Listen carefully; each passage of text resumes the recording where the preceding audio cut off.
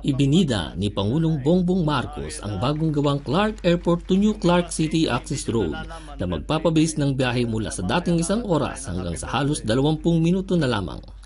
Inalahad din niya na ang proyektong ito ay magbubukas sa mas maraming oportunidad sa turismo, negosyo at trabaho para sa mga mamamayan ng Clark City, Pampanga. This Clark International Airport to New Clark City Access Road, or ANAR, is a key component in boosting the Clark metropolis as an investment and tourism destination. It is a part of a larger package of Build Better More activities. It aims to enlarge Clark's profile in the global investment map. Projects such as this all convey one message to prospective investors. It conveys the message that we are committed to building world class infrastructure that can host a business in a high growth area.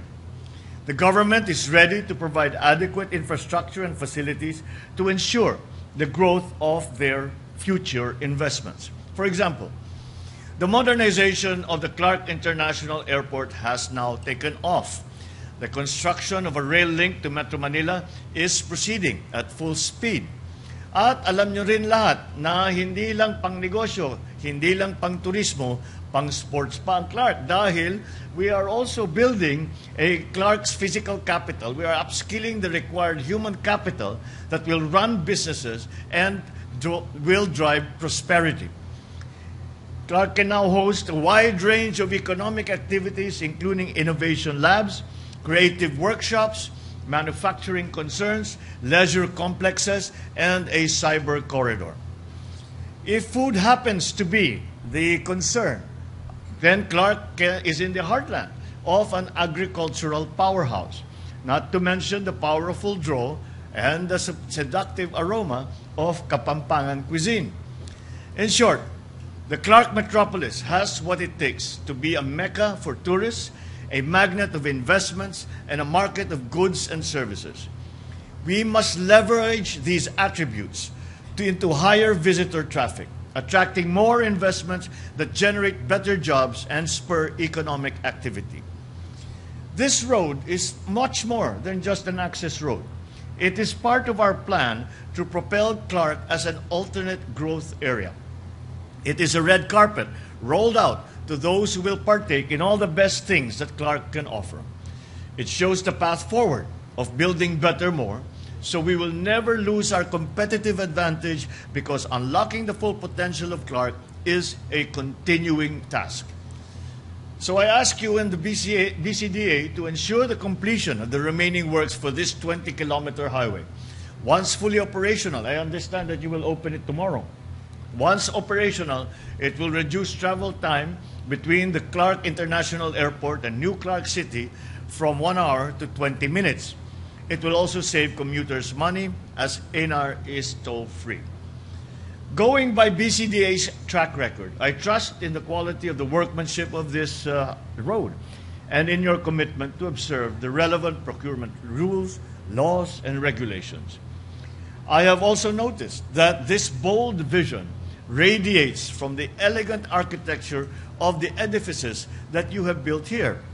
For instance, Sacobia Bridge has been attracting its fair share of visitors as its own tourist destination.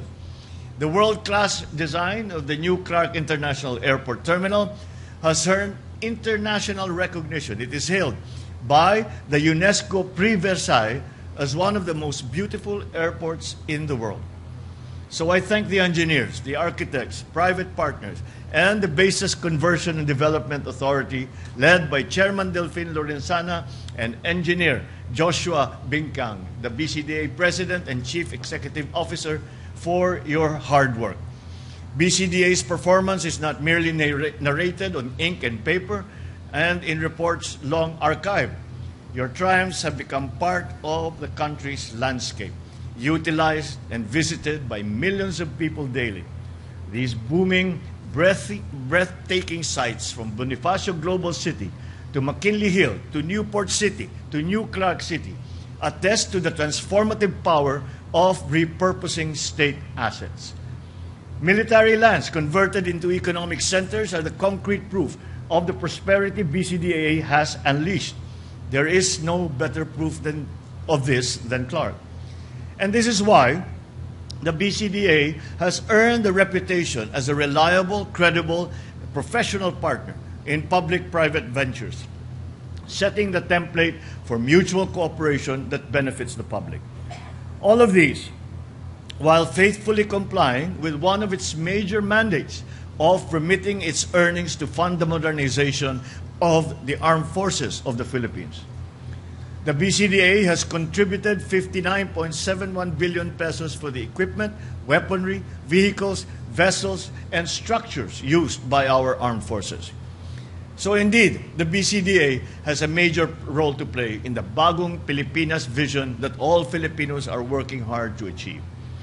Your contribution to Bagong Pilipinas goes beyond your physical inventory of projects delivered, planned, and being built.